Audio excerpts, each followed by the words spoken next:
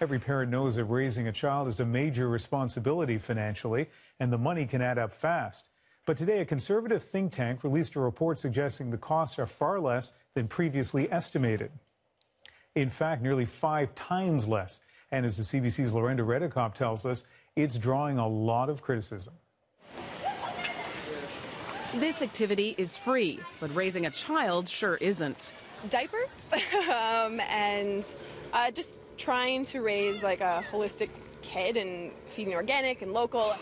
Soon, 11 month old Jack will be going to daycare for $1,500 a month, and the childcare costs have already started. I have a, a sitter that comes every once in a while, but still the cost of having a sitter look after him for a, a couple hours is it's really high because you want great care for your baby, right?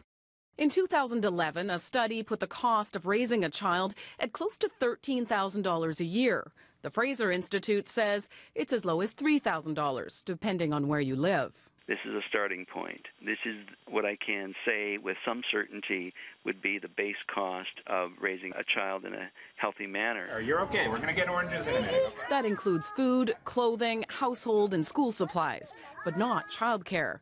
And the study is based on families with just one child. 80% of them spend zero on daycare. Some people find that hard to believe. Obviously, I double and triple check my uh, my source and, and its StatsCan, and uh, you know it, that's the reality of various families. Sarlo wanted to do a study without any middle class bias. He says that's the problem with other studies. He says they send the wrong message to low income people, telling them that raising kids is too expensive.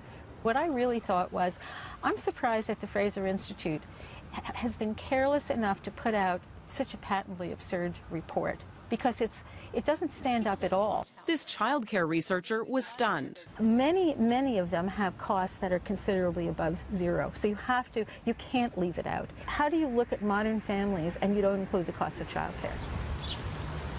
Christine Kilby pays more than $20,000 a year for a nanny.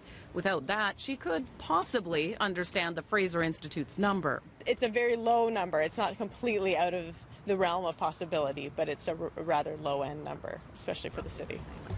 She wants to do what she can for little James, meaning she'll be spending much more than $3,000 a year.